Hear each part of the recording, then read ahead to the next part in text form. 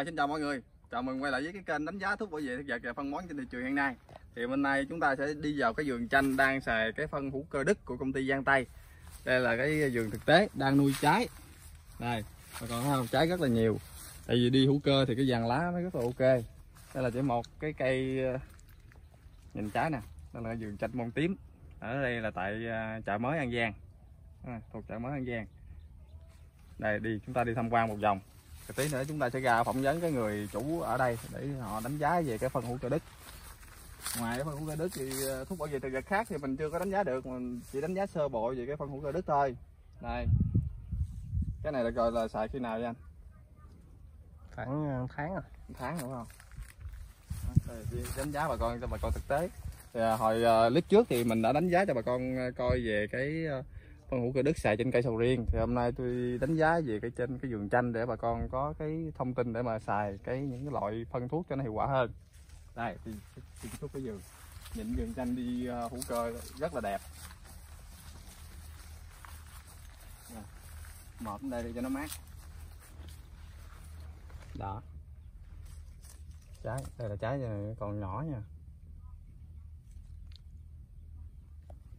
Nhìn vàng lá đẹp quá. Trái đi cũng dữ. Đó, nhìn trái này, cây nó có sức sống hơn đúng không? Tại vì có một cái vườn mà không có xài mình đánh giá để so sánh được. Ở đây là toàn là xài hữu cơ cho nguyên clip đẹp quá. Tí nữa mình vô sẽ phỏng vấn trực tiếp ảnh nha. Cái vườn này bao nhiêu tuổi anh? Cái vườn này 6 năm rồi 6 năm rồi.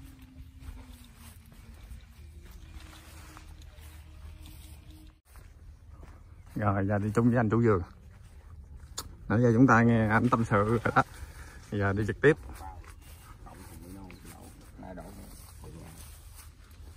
Nấu trái như vậy nè?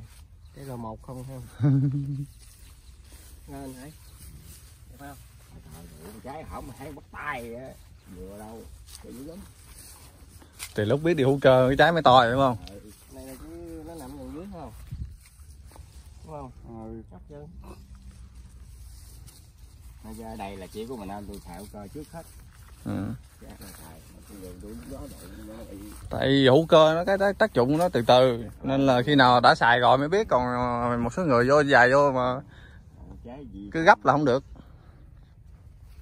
sao Quá trời Đó. ừ.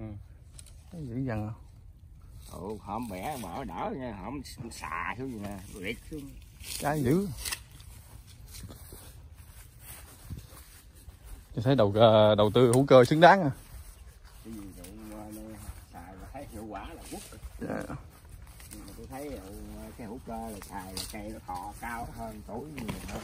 Ừ. Con kia. Bên này nó gọi là chanh chanh gì? Đã bi rồi đó ơi. Này chanh xô ý chanh chanh si Chanh si. Cái đoán gọi là chanh si à gì si đó là xuống nhà si rồi đó. Xíu à. Ẻm rồi đó. Cái mà lên da xanh vậy bên sau là nắp ao không? Không có mùi ừ. thơm. Có mùi thơm dữ lắm xanh vậy đó bởi vậy em biết cái nhà chanh này đó nha. Chắc nhà gì biết cái gì? Chơi với lá mà. Ủa. đủ mà lấy lên đây mua.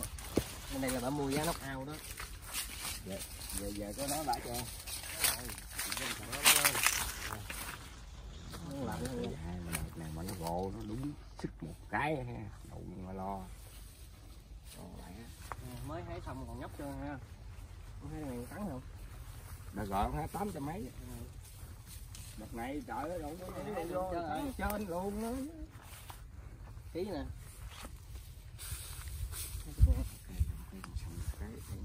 Đã không.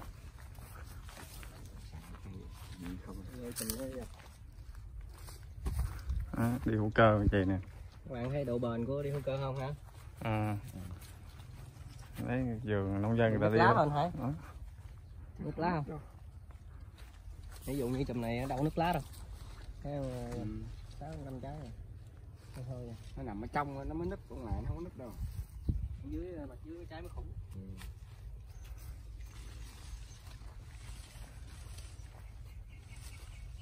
Nó bị lạnh luôn đóng. Trái. Trái tàu trầm nhưng mà này tỉa hư từng trái rồi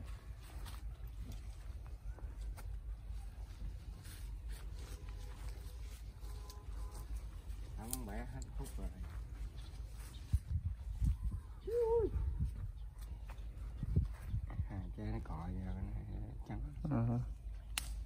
hai nhánh này gọi là này hả? Này con này nuôi danh Đấy, gì không? này ghê không? Gãy chắc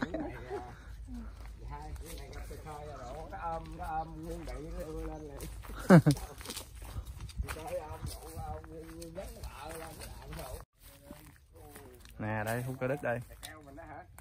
Xài để mà nắng ghét rồi đừng ghét nè thuốc nè. Đây hút cơ đất này hút cơ đất của công ty Giang Tây nè. Đó, để mà nắng ghét của nó bay màu luôn. Thôi. Trong nhà giống tám cây giống ông ơi không phải xong giờ ăn xoài đi vườn chanh ăn xoài Ừ, thế này. Cái cái nhỏ hơn cái mít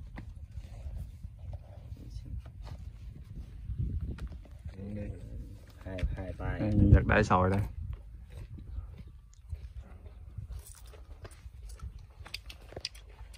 Thì trồng hết luôn rồi, còn còn cây á. Cây còn môn á, chưa chưa be. nó màu cao rồi sau này lỡ mà có nước cũng không sao Môn gì được không? Thấp không? vừa cao quá cũng giỡn cao quá hóc Làm sao có nước nào vô đây được? Lỡ mà mùa nào xả nước rồi trồng lúa nhiều quá. Cái trời ơi, dụ là đường nào vô được. Vô đây được, ngập có được luôn á. rồi bây giờ nó có một cái miếng để mà mình so sánh giữa cái phân hữu cơ đây. Một bên là có xài phân hữu cơ và một bên không có xài phân hữu cơ đất đây nhìn hai bên nè. Đó là một người thật việc thật. Đây. Đây. Ví dụ nhìn không có xài phân hữu cơ đây. Thấy không? Quay bên đây. Đây luôn nè đó, người thật việc thật để cho bà con so sánh giữa cái cái tác dụng của phân hữu cơ đất như thế nào. Này còn anh anh chủ vườn. Đó. Đó, qua vậy nè cho bà con dễ có cái, cái nhìn so sánh dễ dễ nè.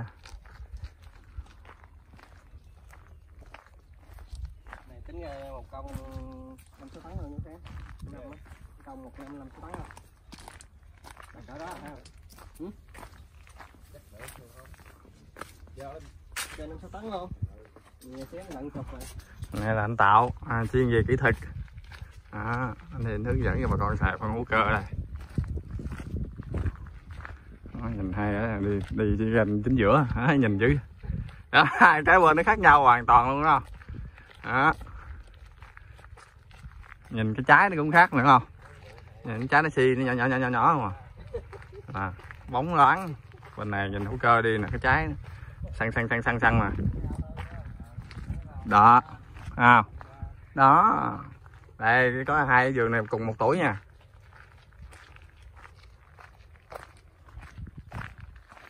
Đó.